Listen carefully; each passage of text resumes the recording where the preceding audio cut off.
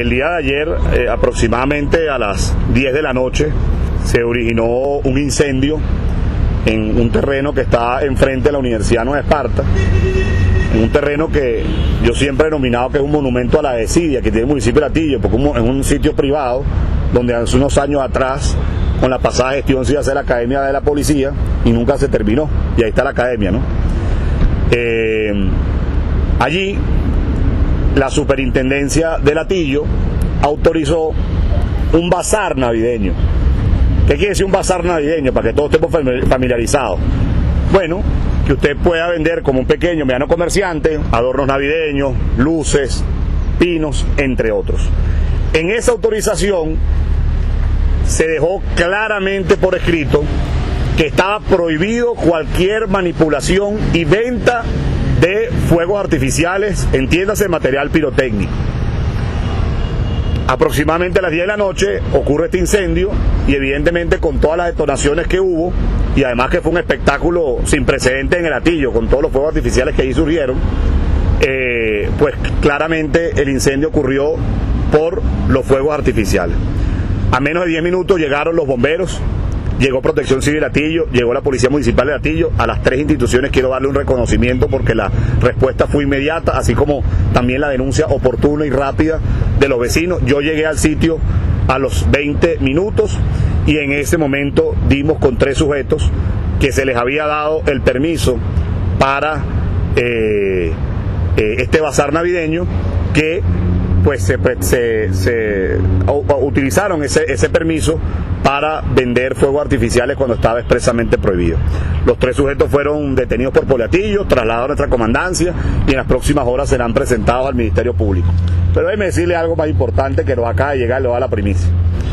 Hace media hora nos llegó un oficio donde increíblemente este sitio tenía el rechazo, tenía, perdón, la, la, no autorización por parte de la alcaldía para vender fuegos artificiales, pero la Dirección General de Armamento y Explosión, que depende de la Guardia Nacional, autorizó a este sitio a manipular eh, fuegos artificiales y vender material pirotécnico.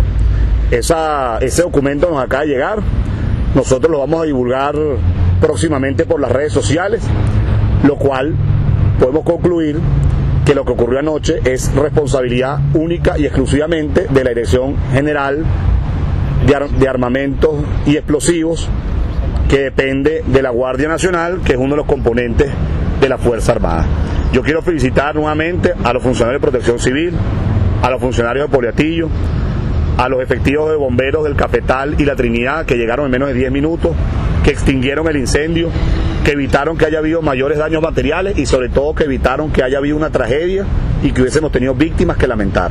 Además, rápido actuó Poliatillo e inmediatamente esos tres sujetos se detuvieron y serán presentados al Ministerio Público y además gracias a las investigaciones dimos que el DAEX, que es como se conoce por sus siglas, la Dirección General de Armamento y Explosivos de la Guardia Nacional, fue quien autorizó esta venta de fuegos artificiales. En el Atillo, no solamente en ese sitio de los naranjos, en cualquier sitio que haya, está terminantemente prohibido la manipulación de material pirotécnico y la venta de fuegos artificiales. De hecho, ya yo di la instrucción para que esta misma mañana nuestra superintendencia, conjuntamente con la Policía Municipal de Latillo, haga un recorrido por todos los bazares navideños que se autorizaron para que podamos constatar o no si hay ahí alguna venta de fuego artificial.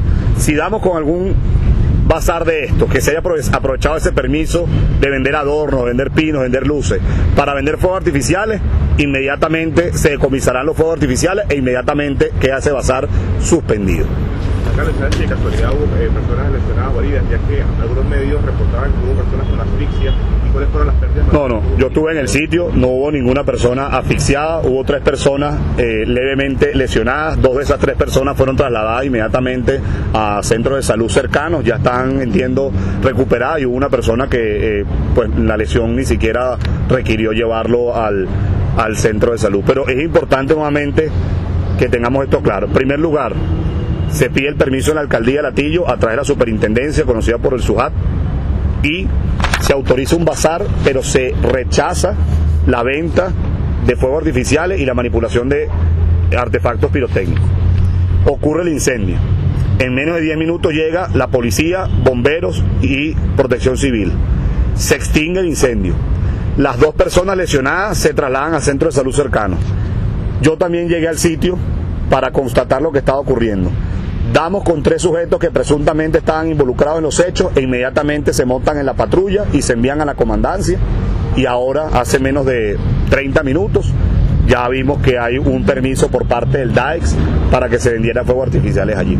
Bueno, eso es parte de lo que tiene que hacer la nueva Asamblea Nacional, porque eso es burlar las competencias de los gobiernos locales, eso es burlar la, autonomía de la alcaldía y eso es burlarse del trabajo que hace nuestra superintendencia, que si es la que tiene eh, la autorización de permitir o no un bazar o de, en este caso, rechazar, acorde a la ley, material pirotécnico, venta de fuegos artificiales, entonces, ¿cómo es que la alcaldía hace un trabajo y entonces luego se va por arriba y el DAEX permite ese, esa situación? Que, por cierto, también estuvimos investigando, el DAEX solamente dio tres permisos de venta de fuegos artificiales el año pasado. Tres. Y ahora aquí, extrañamente, tienen uno saquen ustedes sus conclusiones de cuán enchufados pudieron estar los que están en ese terreno, que pudieron haber causado una tragedia. Gracias a Dios, literalmente gracias a Dios, porque allá en la hubo una iglesia, no había una misa como la hay todos los domingos allá, porque otro, otro, otro, otro gallo estaría cantando en este momento. Gracias.